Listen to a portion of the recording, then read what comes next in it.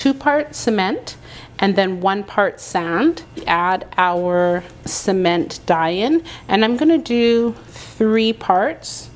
One, two, I'm gonna do three parts of the black cement pigment. Now we're gonna add in the three parts of paper mache.